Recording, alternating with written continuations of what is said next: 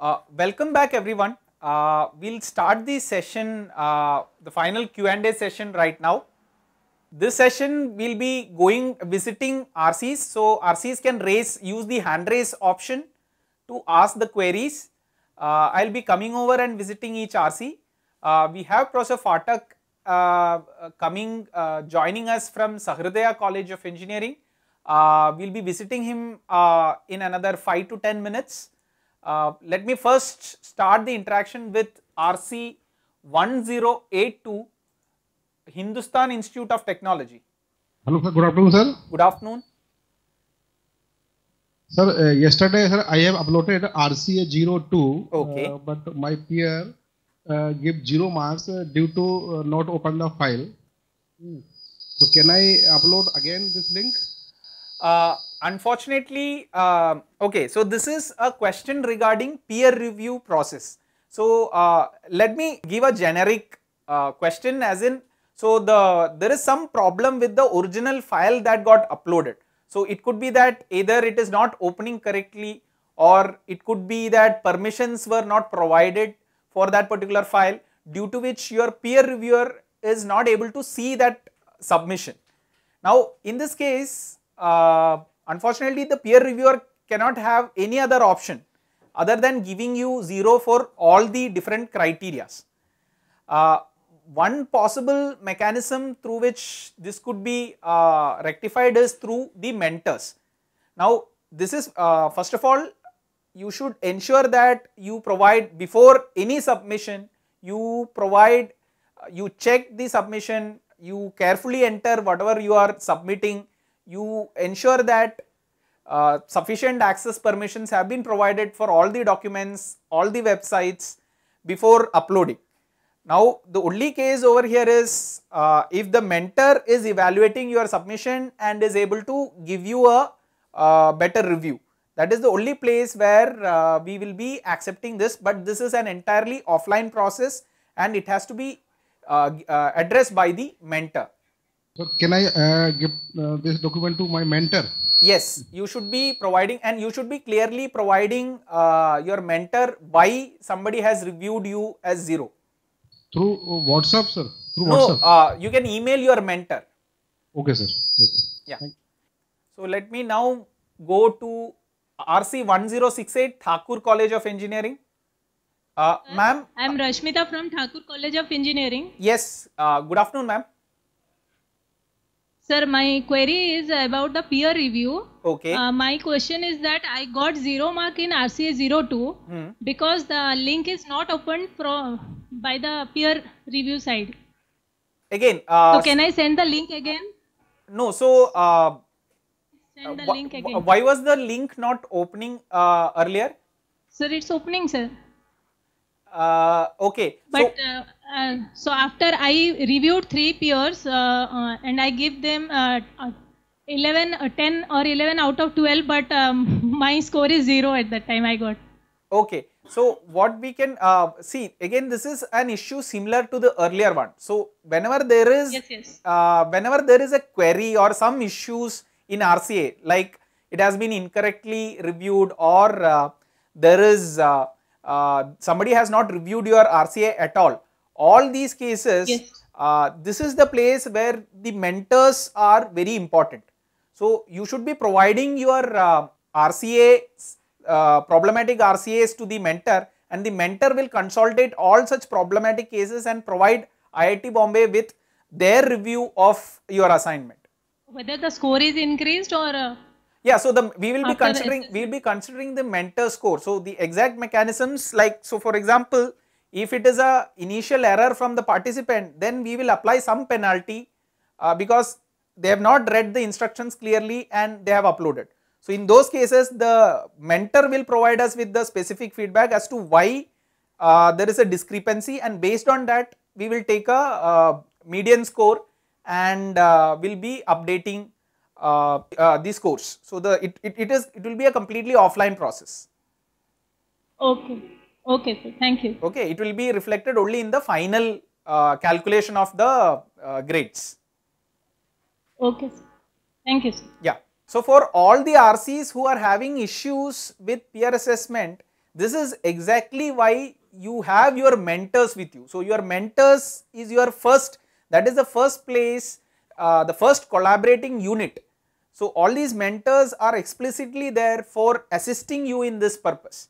Now, in case there is an inactive member, uh, mentor, then do let us know because there are other active mentors who will be happy to help you. So, this is how the idea of collaboration, we are explicitly using the idea of collaboration between different faculty from across the colleges and uh, the mentors from the previous FDP are more than happy to uh, collaborate with you, provide you guidelines and uh, I am sure that most active mentors will be more than happy to review your assessments and will will uh, will be able to help you out in uh, taking even the OER further. Okay, so please make use of your mentor, interact with him regularly uh, even after the FDP because FDP is just one place but after that you, any discussions we want this community to grow, uh, we want this community to interact with each other, collaborate with each other even after the end of FDP. That is the vision behind these kind of programs. Let me now go to RC1190, Symbiosis Institute. I have a few questions. Uh, starting from RC1, sir. Now, RC1, uh, the problem was that peer review. Hmm. I got a bad grade. I don't know why. I have followed all the instructions. Okay. And the reviewer, I can see that have uh, not attended the last AVIEW uh, face-to-face session. Okay. So the reviewer commented like you have not provided URL, which was not the requirement. Correct. So now my suggestion, I have one suggestion, sir. Hmm. So you said that you'll have you'll give some penalty to uh, the uh, reviewer who give these kind of uh, marking. Yes. Can you send a mail?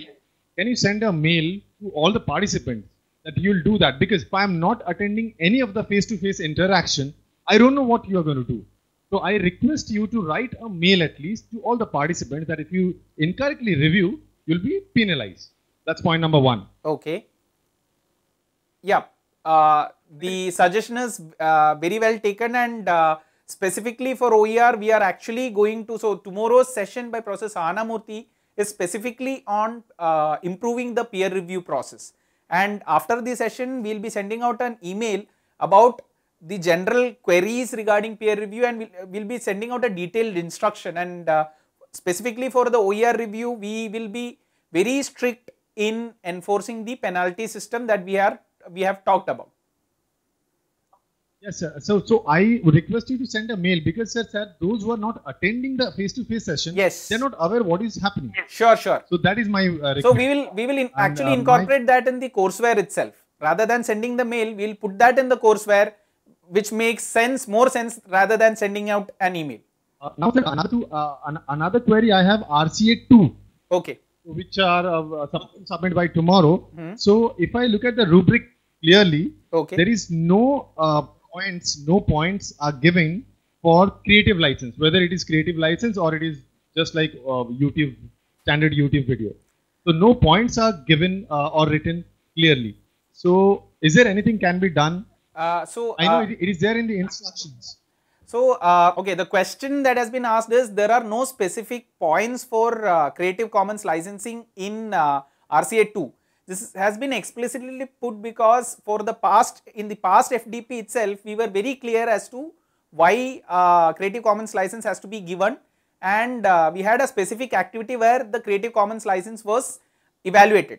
Now for OER also we will do the same process but just for RCA2 since the major idea was to look at how they create the out of class activity uh, just because of that we have not uh, given specific focus on the Creative Commons license. But if you find in your review that the resources are not in Creative Commons, you can comment over there. Uh, we will not penalize participants specifically because uh, for flip classroom it may so happen that they may use a video and they may get permission. They may get written permission from the uh, original creator. So even if the video is not in uh, Creative Commons, some uh, what do you say creators may provide permission to use for uh, its fair use in education. So even that is possible. So if there is a written permission then penalizing somebody for not putting in Creative Commons license video is not correct. that is why it was not put in for the uh, RCA 2. Now my third question that is related to the quiz what happened last week. Okay. It has a lot of subjectivity. Uh, it has two issues, sir. Point number one, the um, knowledge quiz what we have appeared, that's the question one was related to domain, domain specific. Okay. instance that that one so now the problem is that if i am not from let's say uh, uh, that particular domain background then it is very difficult to under for me to understand those things so is it don't you think that uh, i mean Okay. whatever assignments we have should be generalized kind of thing not domain specific No, so uh, if you actually look at the question, uh, the question was I think about uh, aptness of the think phase and uh, I think it is something like that, right? The question one that you were mentioning?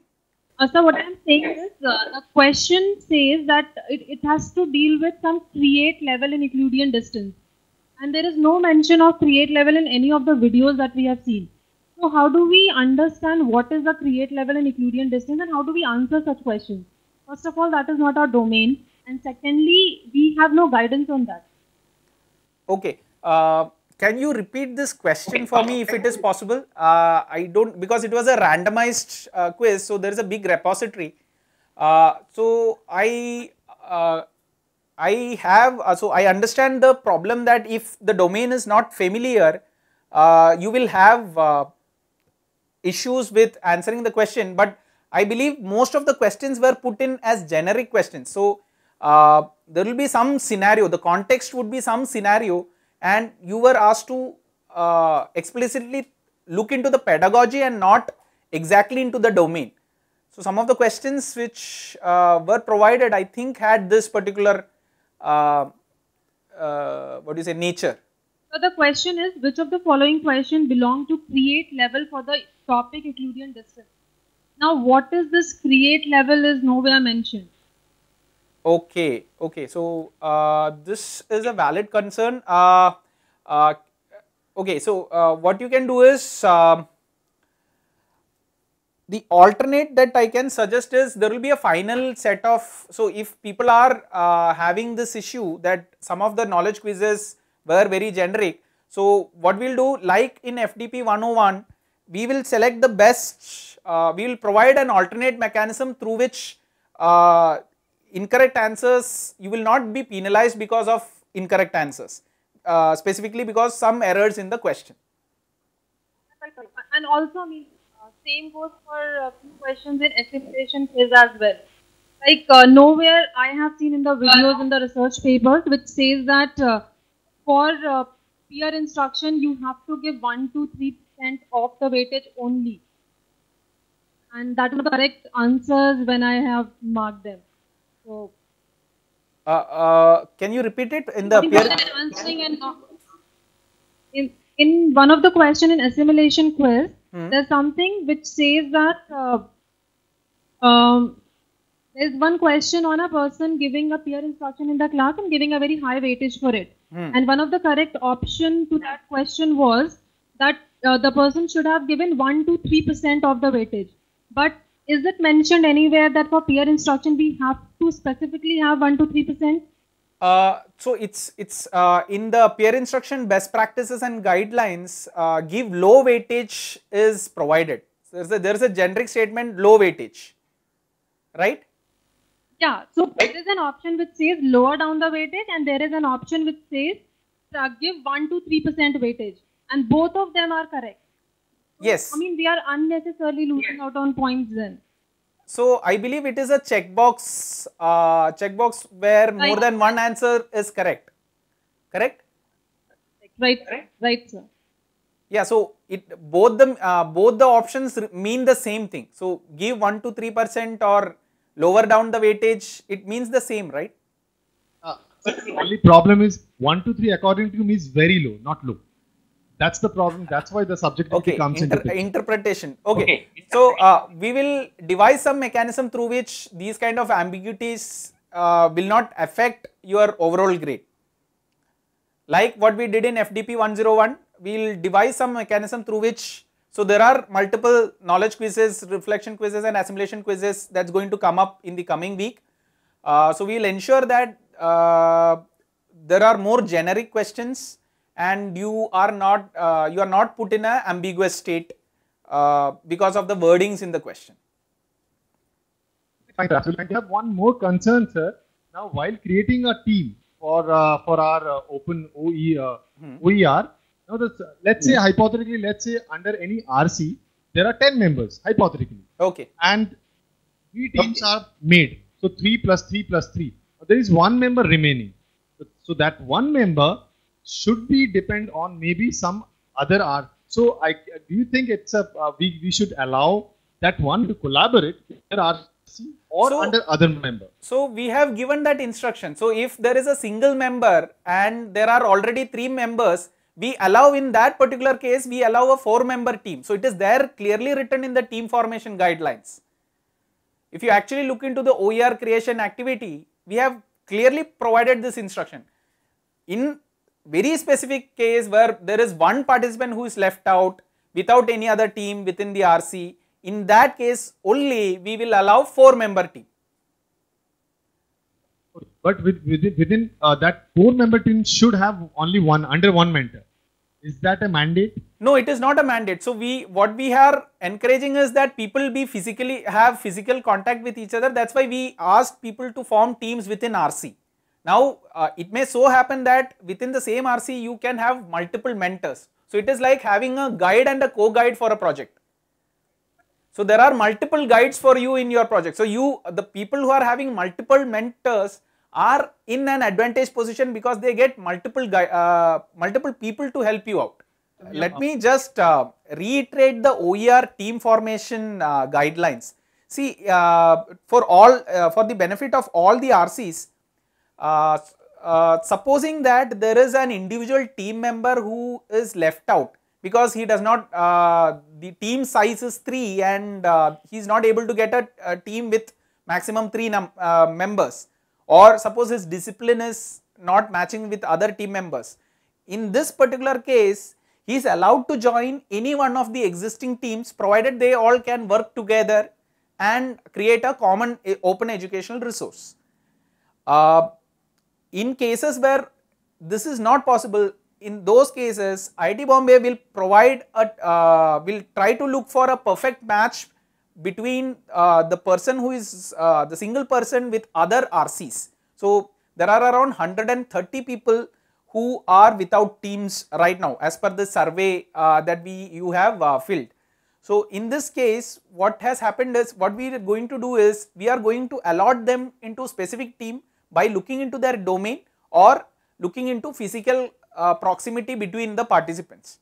Now we will form a team and we will uh, provide you with the information that so and so is your teammate and you can start interacting.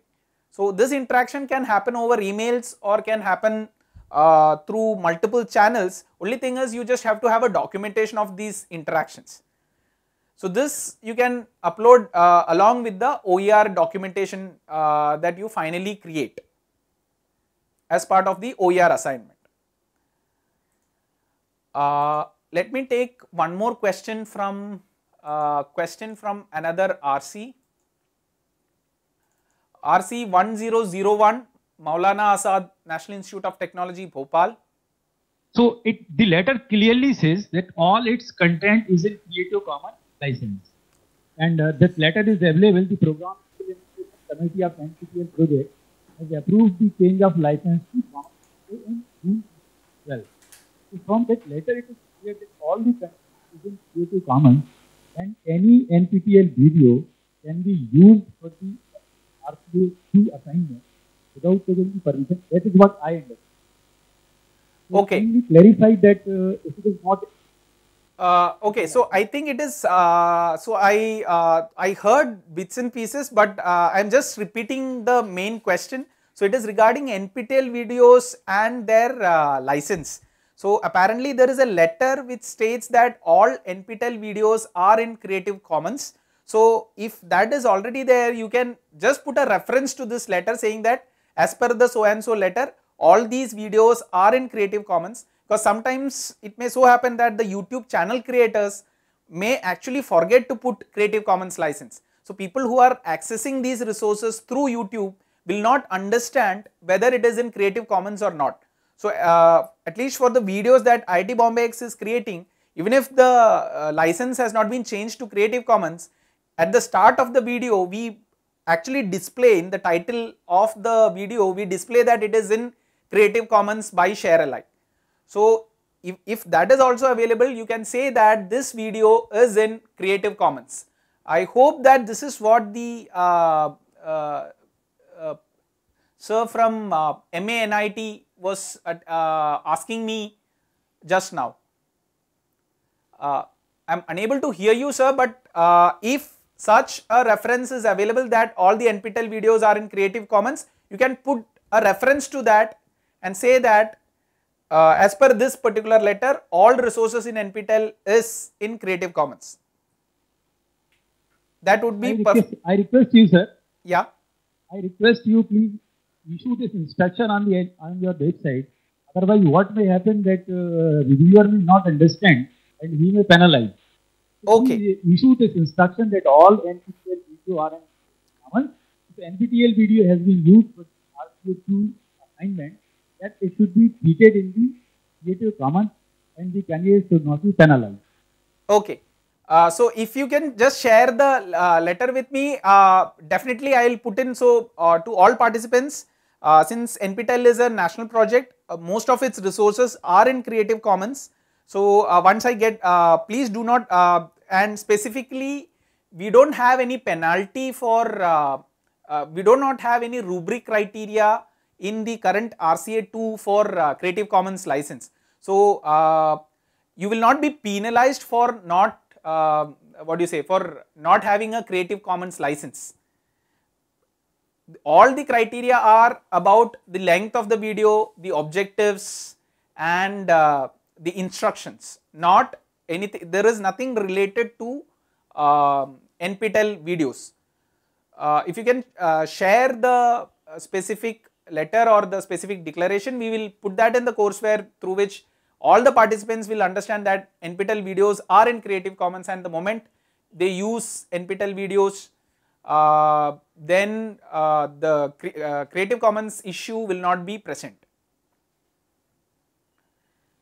My user ID is MK Mishra, M-K-M-I-S-H-R-A and I have already shared this letter on the discussion forum. Okay, great. So, So, uh, I mean, where I, yes, so I'll I'll check the uh, discussion forum and I will uh, put that in the courseware itself.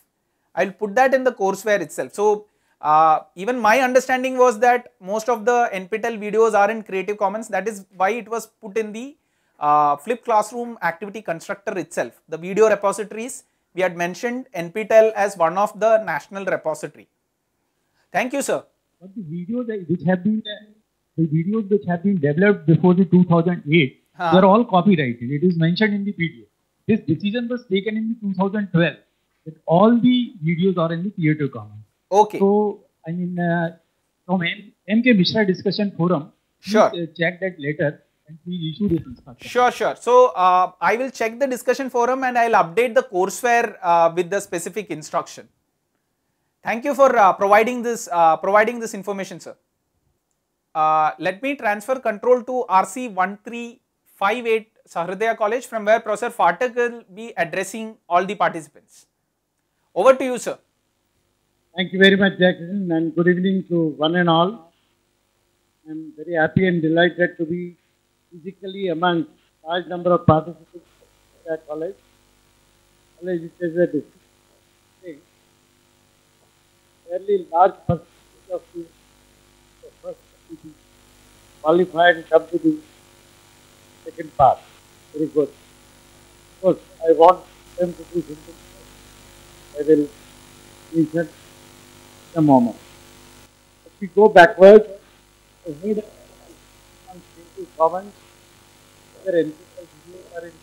common circle. I am happy that there is discussion. People are aware of the issues involved. Sadly, to the best of knowledge, there is no specific statement of the NPTEL side which clearly says that all NPTEL recorded videos are available in the Creative. There was a clear move in that direction. Now at the last moment, NPTEL videos are concerned, it is not crystal clear whether the NPTEL videos are actually under Creative Commons or not. All the site says is that they are freely available for academic use, which is much different from saying that they are under Creative Commons. I will speak to Professor Andrew Thangaraj once again, who is the national coordinator for NPTEL, and Professor Bhaskar Ramamurthi and get clarification. But I am very happy that there is a lot of discussion and debate on these issues. The second point, where I am not very happy, but I am a bit amused, is a large amount of discussion that happened on people losing marks because of one reason or the other. I say I was amused because this is exactly what happens when our students come to us and cry on our shoulders saying that they should not have lost this one mark there or two marks there. In IIT, we hold special sessions which are called crib sessions, which means the students are permitted to come and shout at us, crib about it, and try to convince us as to how they must get one mark more. The moral of the story is that we should now understand how important correct, precise, and reasonable marking is in any situation and implement that when we assess and evaluate our students' papers. So please remember this while you do that.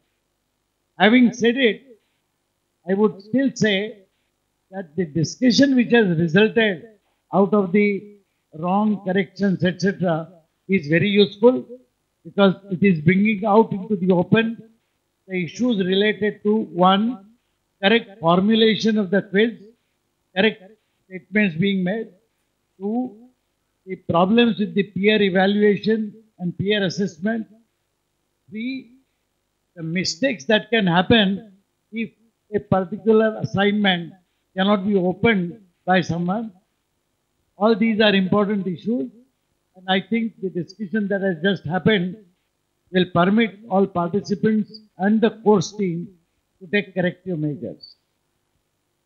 I would like to mention two very, very important points which have once again emerged during this discussion.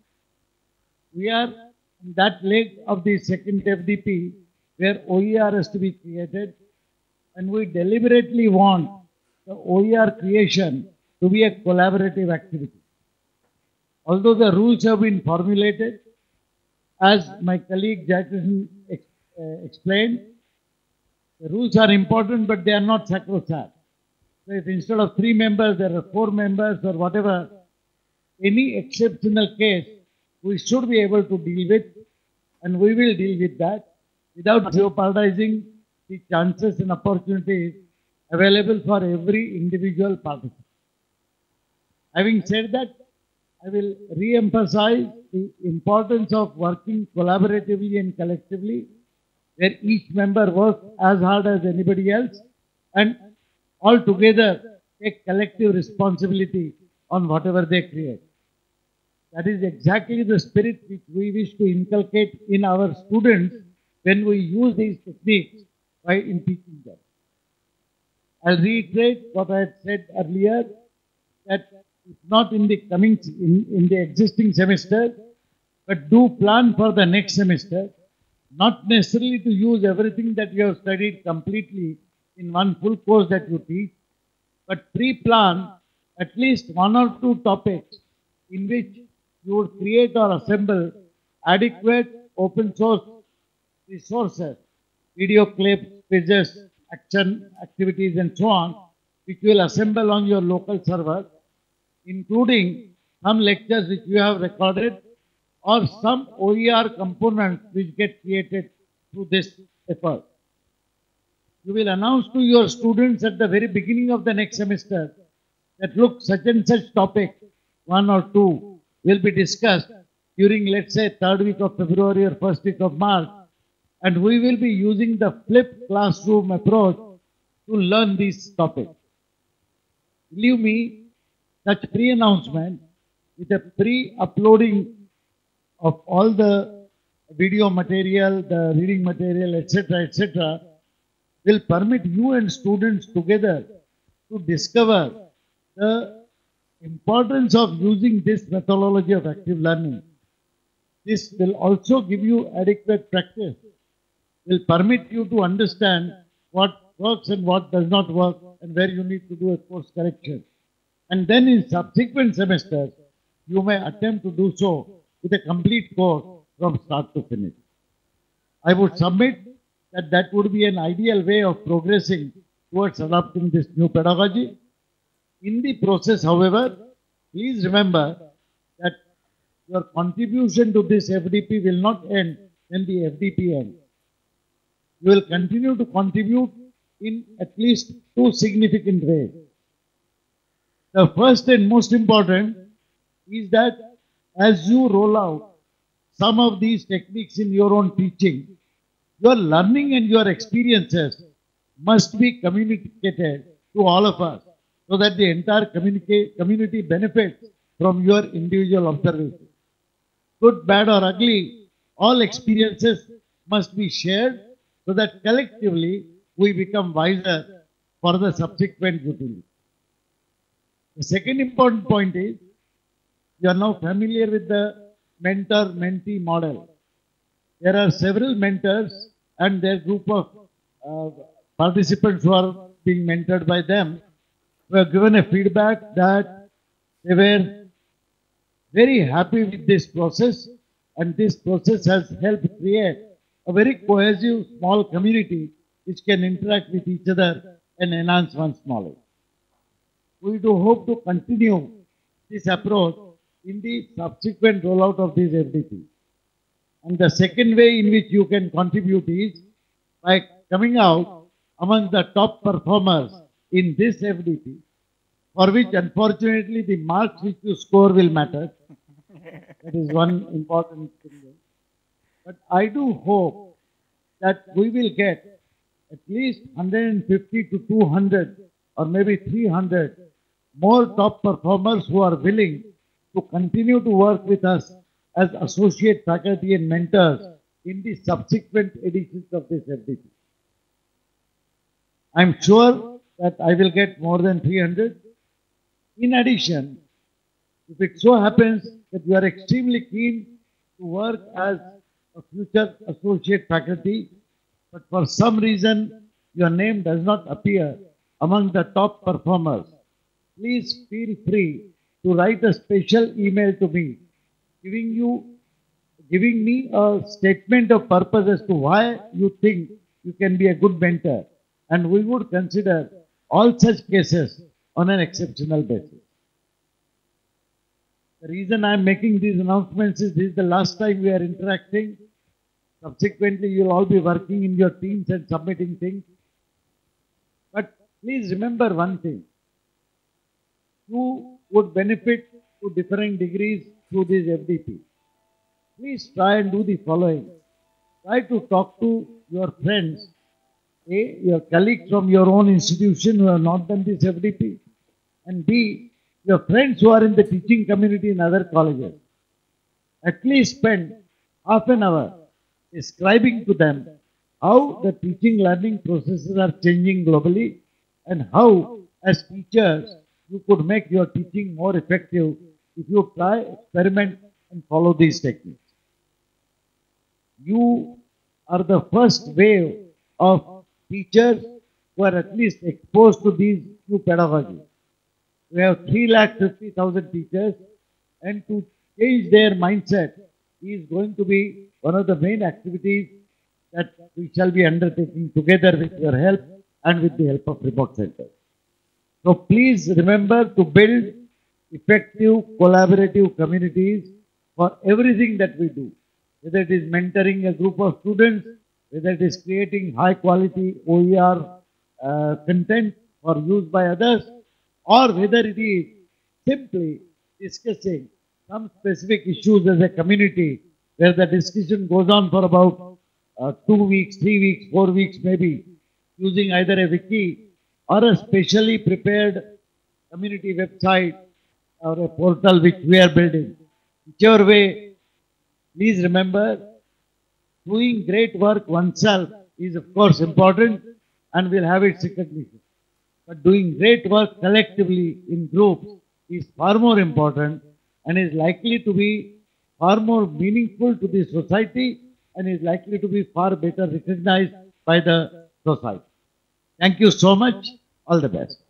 Thank you, sir. So, uh, on that positive note, uh, let me now go ahead to the next RC. I hope all of you are sufficiently motivated by what Professor Phatak was just saying. Uh, see, the vision of these FDPs is first of all to change the belief and attitude of all the teachers and instill the idea of collaboration which is so essential if you want to move forward. In uh, tomorrow's sessions, Professor Sridhar Iyer and uh, Professor Sahana Murthy would be discussing this even further uh, because we have also have research evidence which talks of how collaboration has improved general teaching learning practice within educational institutions or group of teachers as well. Uh, so the next RC is KIT College of Engineering. Uh, good good afternoon, sir. I am Priyanka Kulkarni. Yeah, tell me. Uh, I have actually there are three parts in my question. Hmm. Uh, one is uh, as OER, my team will prepare either FC uh, or uh, online quiz or a question repository uh, using Moodle. Hmm? Okay. So uh, we would uh, use Moodle. Uh, we will create a Moodle account using Gnomio. Okay. Uh, uh, but my question is whether the Moodle account should be in the name of the topic that we have chosen or the course or uh, it should be the team leaders Moodle. This is first part, sir. Okay. The second part is uh, the second part is uh, in addition to the question repository, uh, if I if uh, our team likes to also upload LED video or PPT, is that okay? Or PDF files as an additional OER? That is the second part, sir. And the third part is uh, whether we have to upload our Moodle account URL, our site, team leaders website. Okay. That's So- all, sir. Yeah. So uh, there are three questions. It's regarding the actual OER process on the final OER process. Uh, so let me answer it one by one. Uh, the first question was uh, they are creating the, the OER that is uh, from this RC is based on uh, a course material that they are going to upload in Moodle. Uh, there will be some uh, course materials, there will be some online quizzes associated with it. So the question is whether the course account should be in the name of the course or should be in the name of team leader. So over here, uh, my advice is it could be anything. Uh, both of them are perfectly fine. Uh, so like the instructions that you have to uh, follow is that your reviewer should be able to access the course resources. As long as that is satisfied, you can use any name or any account for creation of uh, the Moodle course. Uh, regarding the second question, can they upload additional OER resources? Please feel free to add additional amount of resources, but uh, see uh, the idea is even if you do a small activity, do it cleanly because the OER documentation is also uh, is also an add-on to the uh, rather it's not just creation of the resource. You also have to document how you created this resource. So the moment you are adding more resources, you will have to spend more time in the documentation. So just estimate how much time you will need for creation of all these resources and also have a look at the due dates. Uh, since we are towards the end of the uh, FDP, we cannot have too much relaxation in the due date. So the uh, as I said earlier, by 11th evening, we will start submissions for OER, where we will be giving you specific instructions, what to provide, uh, where it should be, uh, what all things should be ensured, all these things will be provided on 11th evening. And you will get uh, another 8 days for submission. So you have started creation of OER, but for submissions you have only from 11th to 18th. So what you should ensure is that you have sufficient time to complete the documentation and creation of the resource till this due date is over. Uh, and it, uh, it does not end with this FDP. You can continue contributing uh, with OERs and you can provide us the feedback about how this OER has actually been uh, utilized by your students. So, uh, we look forward for more interaction from you even after the end of the FDP where you tell us how this was effective, the good, bad and the ugly of the open educational resources that you have created. Uh, and uh, your final question regarding where it should be there, uh, ideally it should be present in the team leaders uh, website uh, towards the end of the FDP once the reviews are all over all the participants can upload this OER in their own respective website as well. Hope I have made, uh, I have answered all your questions. Let me now go to RC 1065 Finolex Academy. Uh, good evening, sir. Good evening. Uh, my question is uh, related with uh, peer assessment. Uh, I got zero marks in the peer assessment. Uh, I have also mailed regarding this to my mentee. But my question is, if the my mentor is not going to respond my email, can I proceed towards the another mentor? Okay, so the question is, so this is a valid question. Let me repeat it so that all other participants are uh, able to uh, hear uh, hear the clarification. So the question is that okay, there is a peer review issue, and the issue has been escalated to the mentor as per our instruction. But what happens if the mentor is not responding to your queries? So we have uh, we have seen lot of these cases being reported to e, uh, our workshop team. So ideally in this case uh, it would be uh, uh, of course your uh, review will be given to a, another mentor but it would be better that it is channeled through the, our workshop team because then we know to which active mentor we can actually forward your query to. One more question, sir. Uh, regarding OER creation, Hmm. can we use the uh, Moodle account for OER which is which we have created in previous 101 Yes. FDP or Yes. we have to create No, so uh, so the question is, can they use the accounts uh, that was created in FDP 101? The answer is a big yes. And ideally, we would want you to use the same websites, the same Moodle accounts because the FDP 101 and FDP 201 are linked FDPs. They are not two different FDPs. It's the same course, the first one focusing on the technology and the second one focusing on the pedagogy. So ideally that is why the cohorts are also the same, the mentor is also the same, uh, almost all the process are remaining the same. Only thing is one new activity has been created which is the OER activity which has to be done in a group. So uh, feel free to use the same account, do not, you need not create a new account, uh, Moodle account or a WordSpace, uh, WordPress account for uh, uh, doing the FDP 201x activity. one more question. Huh? Good evening, sir. Uh, my question is related with the video length. Hmm. Uh, can we use a video which having length less than three minutes?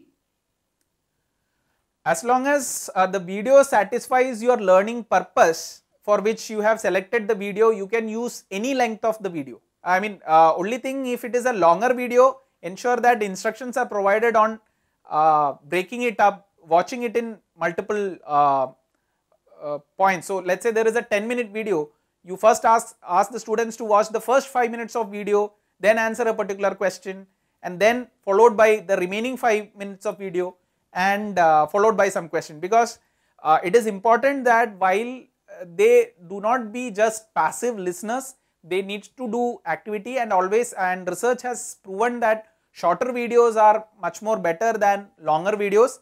But if you are still taking longer videos, it is always you should provide clear instruction as to what small portion within the long video they should actually look at.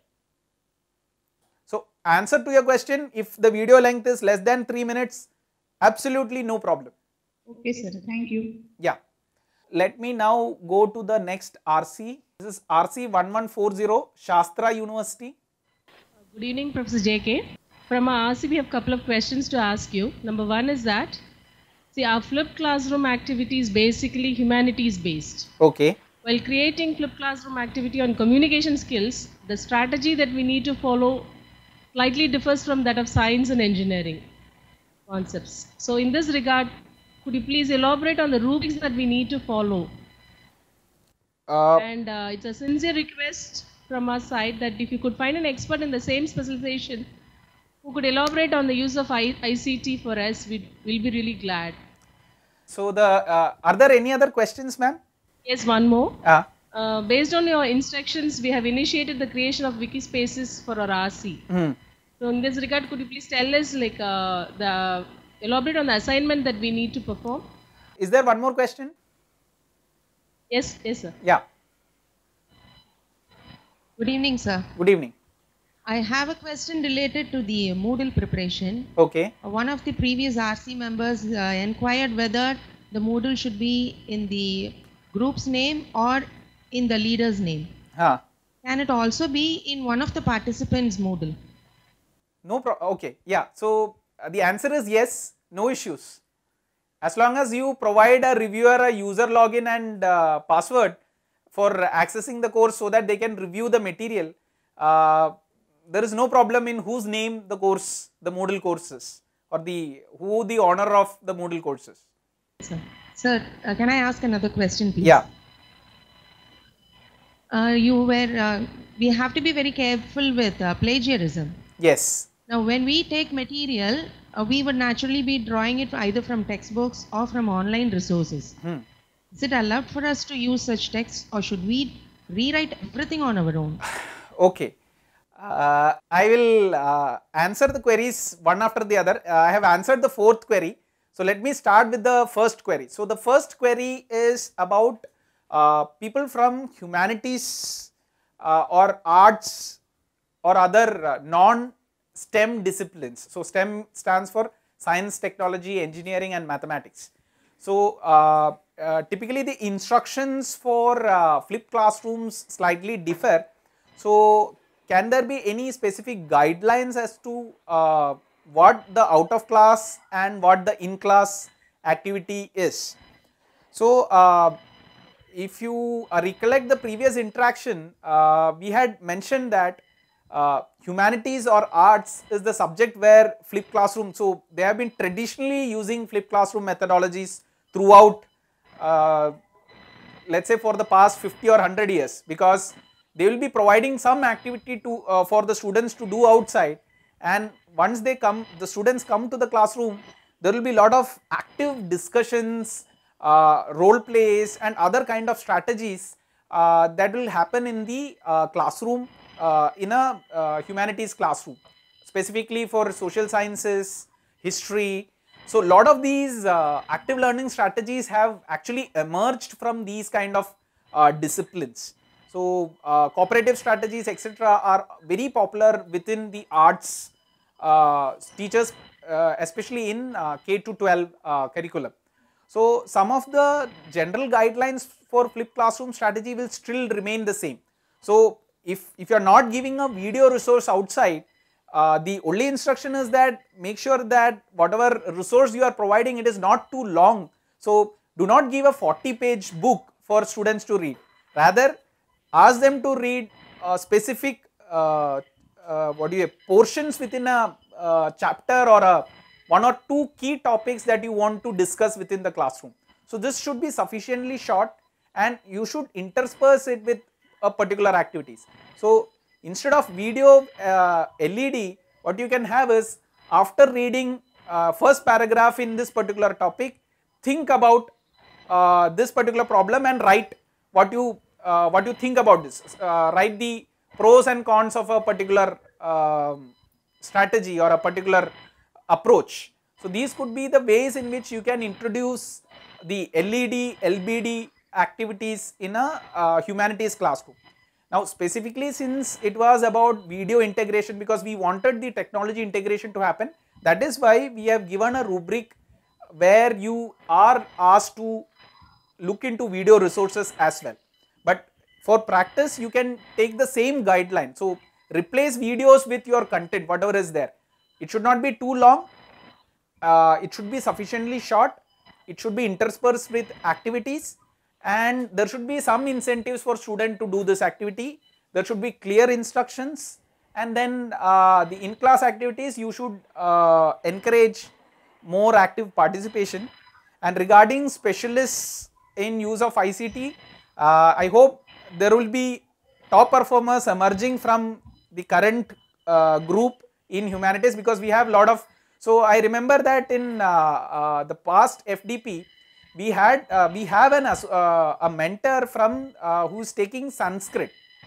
So if somebody from Sanskrit can emerge as a top performer and can mentor be a mentor, then there is uh, I see no problem in a humanities teacher also coming up and being the specialist. Because as Professor Phatak said, this is the first wave. You are among the uh, first people who are ex being exposed to these kind of ideas and specialists, we are expecting specialists to emerge among you and that is why specifically we are looking at top performers and uh, mentors. So, uh, check whether there is a mentor uh, with humanities specialization. Uh, the, uh, some of the mentors web pages were given in FDP 101x.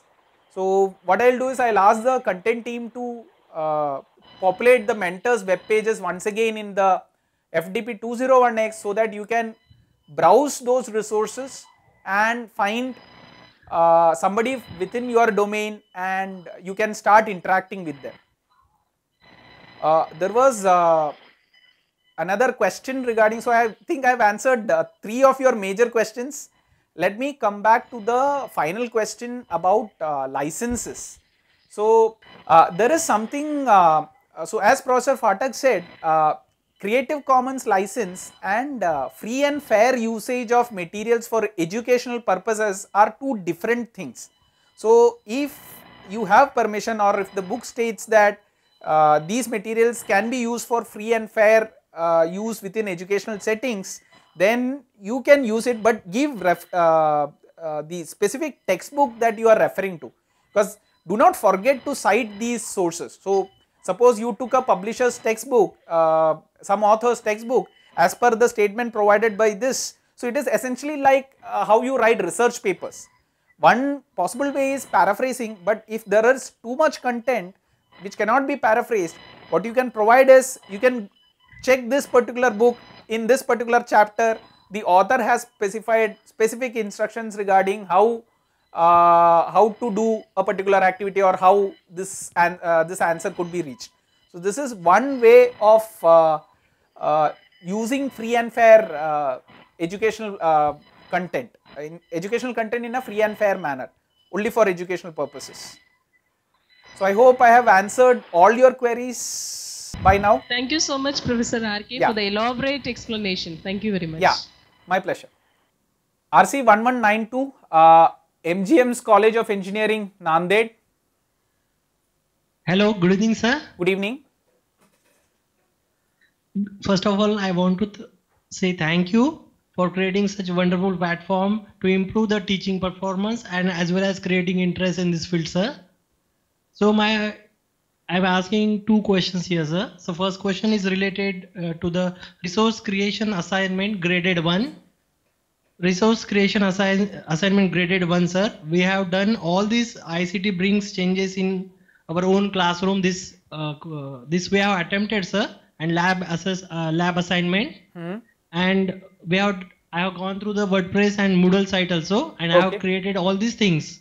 But uh, when I'm because of this uh, busy schedule, academic schedule, and some of the site visit we have held in the department, so uh, I'm not able to put in the 21st September, and I have just put it in the la- late night. But it, it, is it was not accepted by the website, sir. So it is my genuine request to you that sir, we have created very genuine work for that and please consider and give us chance for the improvement. Okay, uh, what is your second query? Second query, query is regarding to the OER sir. In OER team, team has created wiki spaces to the individual one or group leader has created wiki is own. Okay, uh, so let me answer the second question first. So wiki spaces or wikis is one more technology that I exposed you to uh, while uh, and I have uh, uh, I have put an analogy as to how group projects can be utilized. So OER as a group project and how you can use this for OER creation. So it is not mandatory that, so you are not required to use wiki spaces for uploading your OER. So uh, that is that is not required. But however, if you are planning to use wiki spaces, please feel free, go ahead, uh, start using it. Uh, but if you, if it is your first time using wiki spaces, it will take some time for you to completely understand all the affordances, all the features and you will have to spend lot more time in understanding this technology. So uh, one uh, advice to you is not specifically use wiki spaces for OER, but start exploring wiki spaces and see how it can uh, work within group project by uh, if you want to provide group projects for your students how to use it. Maybe for next semester or next academic year you can use wiki spaces. So by that time you so because without repeated practice it is impossible to master any technology or any pedagogy. So you need to have repeated practice and for that we have exposed you to wiki spaces regarding your first question uh, please ensure that you submit RCA 2 on time. Uh, we will definitely look at some mechanisms through which we can address most of the queries regarding uh, due date submission uh, got missed and so as Professor Phatak said, we will definitely consider all your requests but ensure that you adhere to the due dates and instructions uh, in the coming uh, weeks as well. Okay. One more questions from Yeah. our RC center. Good evening, sir. Good evening. Uh, sir, it's regarding the OER team uh, documentation work. Okay. So, what exactly you are expecting uh, from the team to uh, in the documentation work? So uh, what is expected, I have actually given an OER example.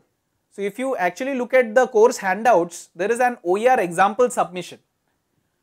So within the OER uh, guideline document, what we are expecting is complete process documentation. So uh, details about the OER that you create, the design decisions that you took, why a specific video, uh, why a specific, um, so uh, why the specific, so suppose you are developing a video resource, why a particular script is chosen, how did you actually do the specific technology, all these kind of design decisions and technology decisions have to be documented. Along with that, you will have to provide a description of the OER. So how to access this OER, is it available in YouTube, go to YouTube, watch this video. So, it's like uh, somebody, if your uh, OER documentation is given to any other teacher, they should be able to create their own OER from this and also evaluate the uh, effectiveness of that OER. That is what the purpose behind OER documentation. So it actually tracks all the process behind OER creation. We have to upload this uh, documentation in Moodle also. Uh, so the exact instruction on what has to be uploaded will be provided uh, uh, when the OER submission starts. So the idea is that you will be submitting the OER documentation and it will be evaluated by the peers. Your Next OER question, documentation will have details of your OER as well. So they will go through the entire document and they will understand how you created the OER and then they will evaluate you. They will look at your OER and then evaluate you. So the document is the thing that is going to be peer reviewed. Sir, one more question. Yeah.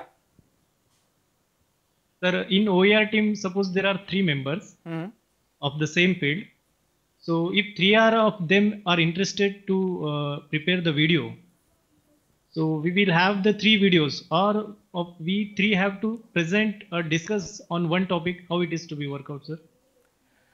Uh, it is up to the team member. So if three videos, see what is an open educational resource? Open educational resource is a resource that can be used by any other teacher, learner, researcher, any uh, any other person freely and openly. So if you are having three videos and you put it in a website saying that these three are the video resources, that would be perfectly fine. But you also have to document how did you come up with this particular videos, uh, what was the decisions that you had taken. All these have to be uh, additionally provided in the OER documentation. That is all. So three videos or three question papers, all these or three answer keys, all these are uh, good enough, but the OER activity is meant for collaboration. So there should be some connect between video 1, video 2 and video 3 uh, such that it could be uh, uh, taken up by another person. Otherwise, there is no meaning of doing OER as a group activity. Okay, okay. Thank you, sir. Thank Yeah. you. Okay, let me now go to uh, Supreme Knowledge Foundation uh, for 3. Hello, good afternoon, sir. Good afternoon. Sir, I have one query regarding OER, doc, uh, OER creation. My query is that you have given in the guidelines there were four points provided that what are the what all what all we can prepare in an OER. Now in the third point there was one course portfolio which we can prepare. So I want to know that in this course portfolio can we cover the entire subject or just we have to concentrate on a particular topic to create? Okay. Means what exactly will be there in course portfolio? Okay. That I want to understand. Okay, so the question is, uh, there is a example, as an example OER, we have provided uh, the idea of course portfolio. Now, uh, the question is, should the course portfolio be for the entire course or for the OER creation, they can focus on specific topic. So over here, my advice is that it is always better that you focus on a smaller topic because uh, you will have only limited time to submit your OER, create and submit your OER. If you select a complete course, uh, you will need lot of time to actually create unless and otherwise you have already all these resources available with you. Uh, if you want to create newly, I would always recommend you to focus on one specific topic and do it at a small level but do it very uh, thoroughly. So the quality, uh, it's not the quantity that is important, it is the quality that is important. And sir, the out of the four points, do we have to stick to those four points only, or can we just like three and four? We can do mix them and do it that way. So all the examples, so the question is should they, uh, so we have provided example OERs. So should the example OERs be taken as the final word? So the answer is no, you can do, these are just examples. So if you want to mix one or two, one plus three, you want to create a completely new OER because that is perfectly valid. Only look at the definition. The definition of OER is it is a digital content that is freely available to use and reuse for teachers, learners, researchers or any other person who want to learn. That is the only definition that we will look at.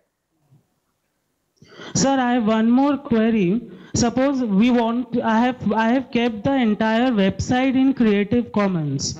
Now, whenever I am uploading any document in that website, then that document has to be separately kept in Creative Commons. So whatever document will come in that website, all will automatically apply Creative Commons. Uh, it is always a good practice to have uh, individual resources separately marked out as in Creative Commons because we do not know how uh, somebody will access your resource.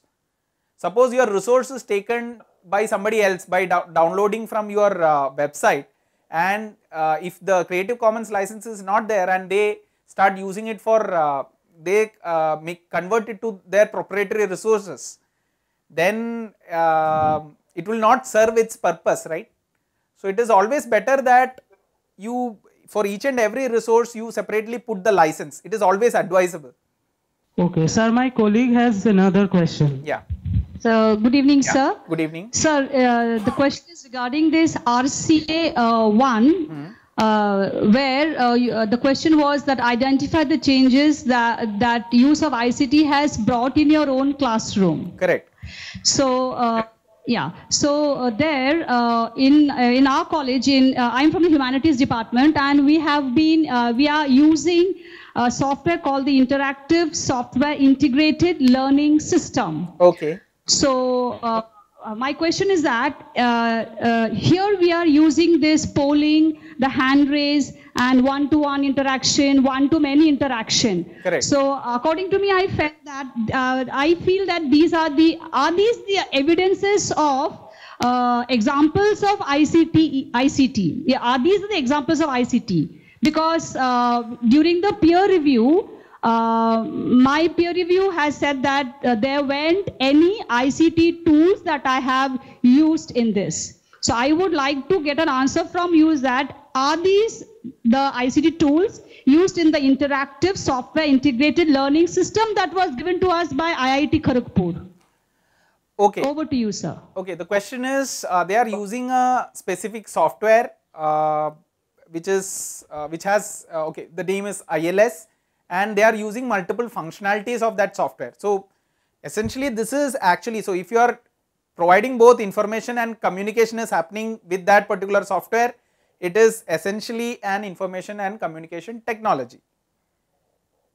So anything that Yes, you use the feature then it is a valid uh, ICT use. So it may so happen that your reviewer is not aware of uh, uh, what do you say ILS system and it is that ignore uh, that particular thing which actually created a, a wrong review. So uh, next time when you actually put in these kind of resources what you can mention that ILS is something similar to Moodle or a learning management system or some equivalent system where multiple things are possible and we have used all these affordances of that particular ILS system. Then the answer would be clear to the audience. Let me uh, go to 1316 Dronacharya College of Engineering. Hello. Yeah, Sir, good afternoon, sir. good afternoon. Sir, uh, I have one question related to RCA 02. Okay. Uh, whether the uh, making the slide, doing the while making the slide uh, for the group member, uh, the topics would be same or not? This is the number one question. And number two, while creating the OER uh, creation, um, is it be any specific instruction for that that we have to uh, choose the WordPress or Google site or like that? Or while making the videos, uh, the all videos should be made by own or we can choose other videos also? Okay, so okay to answer your second question, um, uh, so there are no specific instructions as to how to use how which software to use for OER. All all the videos or uh, websites, any anything that is so as let me repeat the definition. Uh, an OER is a digitally available, freely and openly available resource that can be used and reused by uh, everyone. So if this, if whatever uh, resource that you create satisfies these three criteria, that itself is sufficient. Uh, regarding your question on RCA 2, I did not understand uh, what exactly you were uh, uh, asking in that. Actually, I am telling that when preparing the slides, suppose in a group there are three members. The So topics RCA would be same or if they can choose RC any anything for that. RCA 2 is not a group RCA assignment. 02. RCA 02 is not a group assignment. RCA 02 is an individual assignment. Only OER is the group assignment. In the discussion from some uh, some members are already posted. I am uh, just following the discussion forum that they are posting the OER related uh, URL is also there. They are mentioning some Google slides and they are maintaining the same topics. So I have doubt that whether they have to follow the same, we have to follow the same topic or not. So uh, for a group they may be different. Correct, correct. So RCA 02 is an individual assignment and uh, OER is a OER is actually RCA 03. So OER is a different assignment. OER is a group assignment and it may so happen that somebody uses their existing resources that they created in RCA 01 or 02 or even in the previous FDP, some of the websites that they created they may use for the current OER assignment. So that is perfectly valid. But uh, OER is a group process, so two or three people will come together. The OER process documentation and product both are equally important. Okay. Thank you, sir. Yeah. Thank you. Sri Shanmuga College of Engineering, Salem. Good evening, sir. Good evening. Good evening. Uh, I am from uh, Sri Shanmuga College of Engineering and Technology, Salem. Yeah. Salem. I want two questions, sir. Uh, first one is so in FC FC activity constructor. Uh, we uploaded in our college. All participants uploaded. Mhm. In that, uh, we are given that evaluation slide, the 34. Hmm. What's the meaning of that uh, evaluation? There is no template is given, no. Uh, the, can you explain what's the mean, meaning meaning of that? Okay. Uh, uh, what what is your second question? Second is uh, to do OER activity. What are the free video softwares? Free video softwares Uh, like Screenocast, uh, uh, Screenocast-O-Matic, uh, like that. Hmm. What's the other uh, softwares? So the uh, the other the softwares. Uh, so if you actually look at learning extension You want resource. to do OER activity for using that. So uh, there are multiple uh, OER resource, uh, so multiple video resources that are available. So uh, you just look at screen. So look at the LXT resources that we have provided in FDP 101 where we discuss screencast. So we have given a list of screencast uh, softwares that you can actually use. Okay. And uh, regarding the flip classroom activity constructor, I think it is a typo. I mean, uh, we had removed certain uh, Yeah, slides. uh, Uh, so we had removed a certain slides, but I think the table of contents. I would refer. So now you tell me what are Yeah, so uh, on the top of my mind, what comes is Cam Studio, Screencast-O-Matic, VLC, all these comes to my mind. But you can go in and check the other resources as well. Okay, okay. sir. And regarding your first question, that evaluation First thing, question. yeah, regarding that, it's actually a typo. Uh, unfortunately, there is an error. Uh, we forgot to remove the table of contents slide. So uh, please do not worry about that evaluation slide because it is actually borrowed from a, an earlier flip classroom activity constructor that we had created for the previous pedagogy workshop. So uh, we forgot to remove the uh, table of contents slide. So do not worry about it. Let me now go to RC1290 CDAC Noida. Uh, we have actually a couple of questions. Hmm. Uh, the question, uh, both the questions, uh, one question is on OER, the other one is on the RCA that we have done. Okay. The question on uh, OER is that, uh, let us say if we uh, create some lecture content with quizzes Hmm. and assignment, Hmm. Will it be classified as a OER and uh, is it good enough? Yes, as long as you put it in Creative Commons, that is good enough.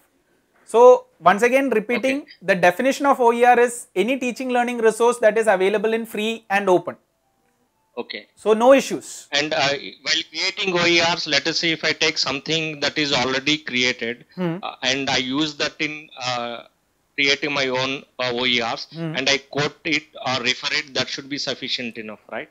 Yes, so there should be some meaningful contribution from your end also. So how to use this or let's say you add your own little interpretations of it, then then it becomes a good OER, better OER. Yes, yes.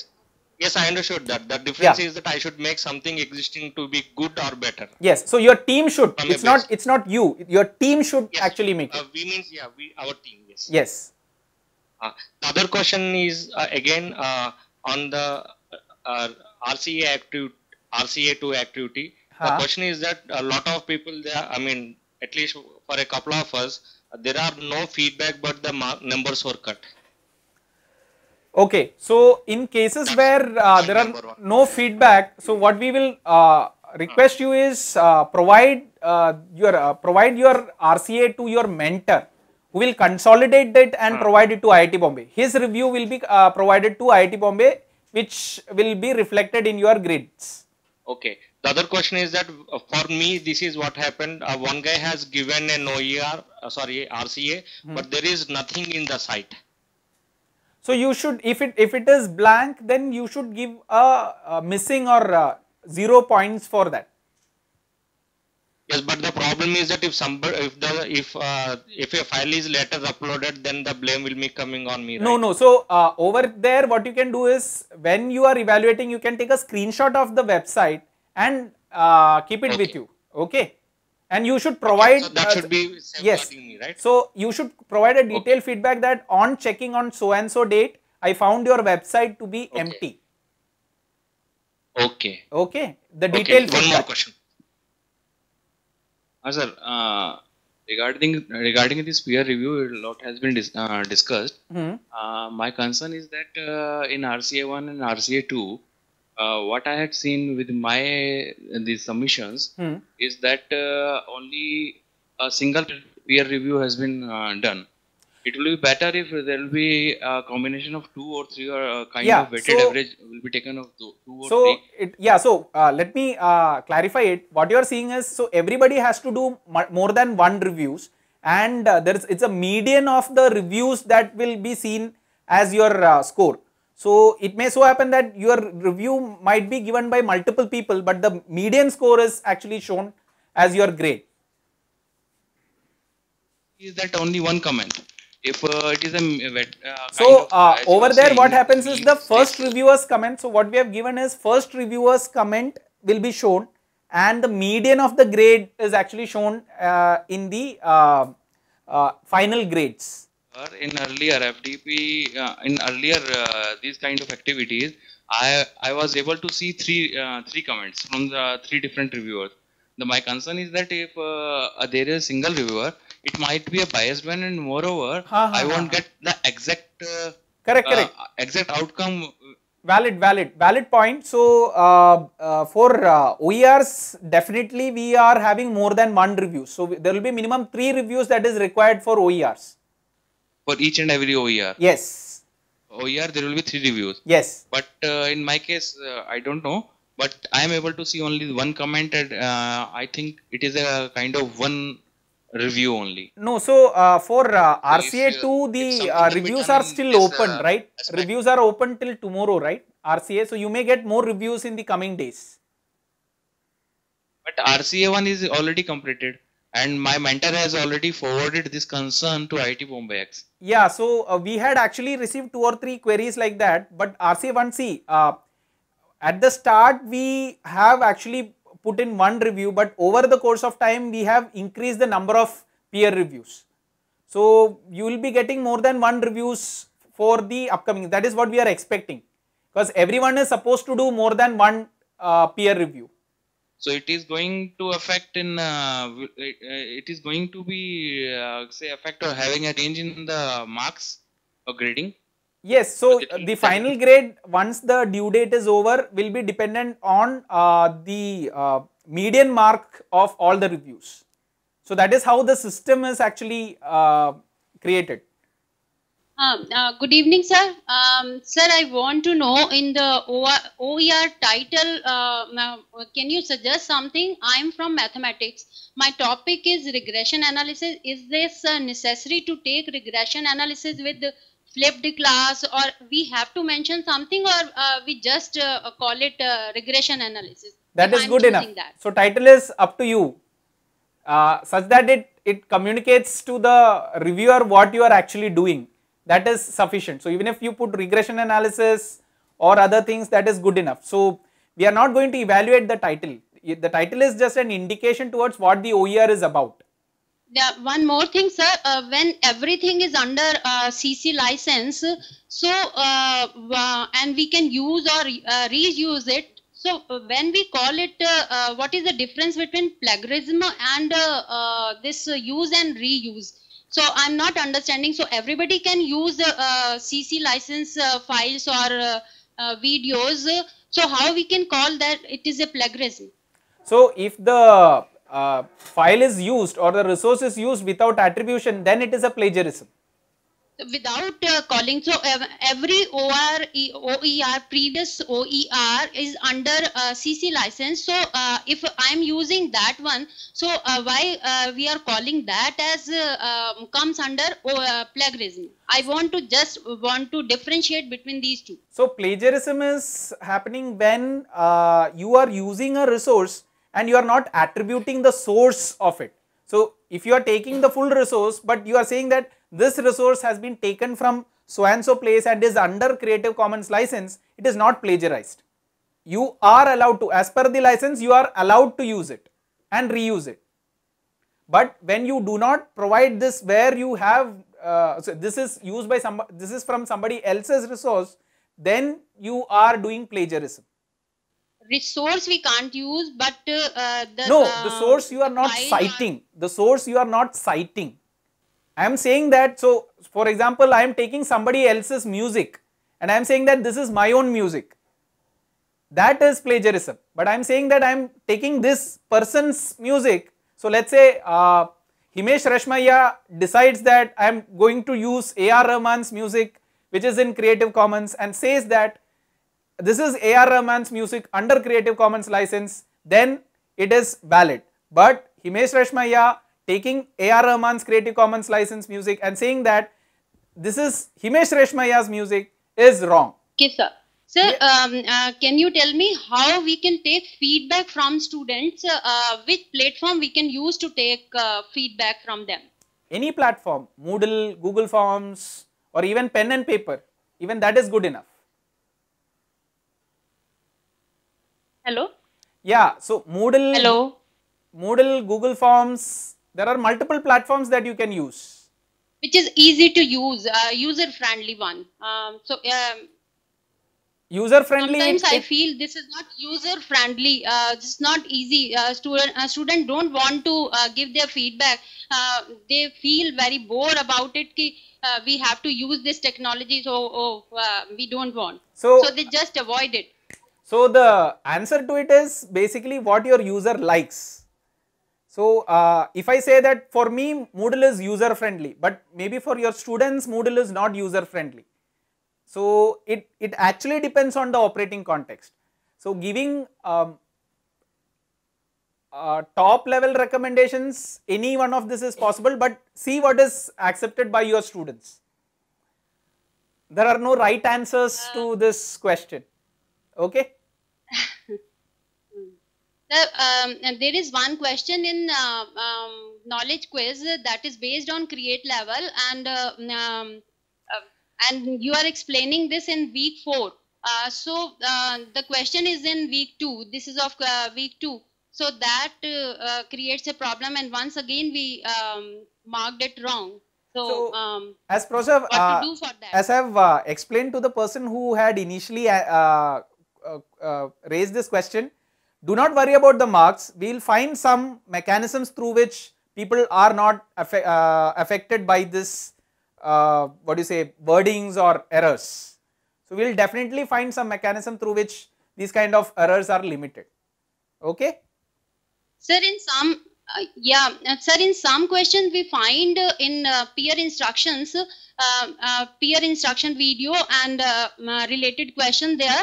So that was multiple choice question, but nothing is mentioned along with that. That is whether it is multiple choice or it is a single choice, and uh, no indication in the question itself. Yes. So in the practice question as well as in the quiz question, uh, we um, uh, again Yeah. uh, we get So, confused uh, in that. So again, the answer is that uh, so uh, over the past, so I completely agree that instructions were not provided. Uh, we will definitely find some alternate mechanism. But having said that, whenever a checkbox is provided, uh, uh, we expected people to be familiar with the pattern. That's why there were no separate instructions per se because in FDP 101 you were doing lot of these multiple choice questions in LBDs also you were doing lot of these multiple choice questions so uh, but yeah having said that we will definitely factor this query because this is a valid query we will will make sure that you are not penalized because of that okay n- I'm not uh, uh, bothering about penalize. I'm just uh, just for sake of knowledge. Is there any specific reason uh, for to uh, do this activity in this way? No, so we were expecting that people will get used to the idea of having seeing checkbox and understanding that multiple there is a multiple choice question. It's just because of that.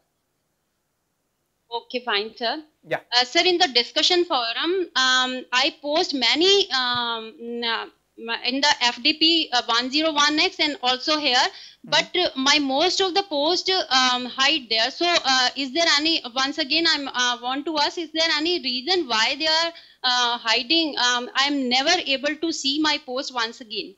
So uh, essentially you have around 5000 to 7000 participants in the course and each of them are posting multiple discussion threads. That's why your posts are getting hidden or it's going down. So it may uh, that is the only reason. If you want to search for your post, you can give your username and you can see all the posts that you have created. But uh, yeah, I, I I have done the same thing, but I never uh, get the things uh, um, uh, listed. It always shows error or um, something else. Um, So can you send it a shows screen? sorry we had trouble loading more threads. Uh, please uh, try again. It always shows like this. Have you sent a email to core support for this? Uh, yes, I, I've sent many mails, uh, two or three mails regarding this, uh, but uh, uh, no reply from Okay. your end. Uh, let, let me check with the core support team and uh, see. See, the problem is there are uh, multiple courses at the same time. So even course support team requires some time to respond to many of the queries. But what I'll do is I'll ask the course support team to provide some guidelines so that I can put put it in the courseware where these kind of errors uh, can be limited or some action can be taken on these kind of errors. Okay. Okay, thank you, sir. Thank Yeah. you. So nice of you. Uh, let me now go to uh, Techno India Salt Lake. Sir, I have a query regarding the Wikispaces. Okay. Uh, what exactly are we supposed to do as the assignment? So uh, the assignment instructions will be given tomorrow. Uh, for today, all you have to do today and tomorrow, you have to just explore Wikispaces. That's it. So that you will be able to do the assignment properly. Okay, let me now go to uh, PSG College 1136. Hello. Yeah. Sir, this is Tilakvati from PSG. Yes, ma'am. Yes, ma'am. Sir, uh, today's assignment RCA 03. In that assignment, instead of uh, pasting the URL link, uh, that is the flipped classroom activity link, I have pasted wrongly the my WordPress link, sir. Is there any possibility to enable it and to correct it, sir? Uh, unfortunately, uh, it wouldn't be possible. I, I mean, we uh, just hope that you have uploaded your FC activity in your WordPress page under FDP201X and uh, just hope that your reviewer actually goes and sees uh, the FDP201X because in the instruction if the exact link is not provided even the reviewer is not at a fault uh, uh, for uh, wrongly evaluating isn't it Yes, sir. Uh, if they open my link, they could see only my uh, WordPress page. Only if they know my uh, password, they can get into my WordPress. this is very unfortunate but uh, uh, there are no direct answers so we cannot re-enable the uh, link uh, What is the solution, sir? It is by mistakenly I have done, but I completed my task. See but so it's like uh, for your uh, so it's like in examination uh, you have written all the answers but you gave the wrong uh, answer paper what will the evaluator do Sir, actually, we are from humanities and we are not technologically strong. That is the reason. No, but we don't uh, know which is that. humanities the the instruction is copy paste your url i think it is english I pasted that URL instead of uh, that flipped Uh, classroom activity. URL. it's highly I unfortunate sent a mail yeah so it's highly unfortunate but what you can actually ask is uh, please contact your mentor and see whether the mentor can review it once okay Uh, I spoke with my mentor too, sir, and, and she asked me to send mail to e outreach. I sent mail to e outreach too, sir. Yes so uh, the general instruction to the mentors will now come wherein they are asked to consolidate all such queries and review it uh, on our behalf okay Okay, sir. Kindly do favor, sir. i will uh, Sir, hello. yeah Sir, one more question. yeah Good evening, sir. good evening This is Rajamogana workshop coordinator, sir. yeah tell me ma'am Please conduct tra- training for workshop coordinator first, sir. Whenever you give assignments to participants, then immediately people are calling me, Madam, how to form OER group, how to do all the assignments, please help us. Without knowing the content, how can I help you, sir? Yeah, so uh, so that is why the participants. So uh, when these kind of queries come, the first thing that you can do is you can uh, ask the participants to contact their mentor, who is more aware of the OER process, team formation, etc. If the mentor is not responding, just sit with them and see the content that is there. So all the instructions are plain English, and everybody can actually read and understand it. So if you can spend time with uh, the person, ask them to come over to your place, show the, show the courseware where the instructions are provided, and if you understand the instructions, just help them. Else, uh, what you can also do is uh, ask them to send an email to e-outreach. So the first contact point for any participant is their mentor. If the mentor is not responding, then ask them to co uh, contact the e-outreach team. We will do the needful from our end. Okay. Excuse me, sir. Yeah. But our mentor is asking us to contact e-outreach, sir. When I called her, Huh? immediately she is asking me to send mail to e-outreach.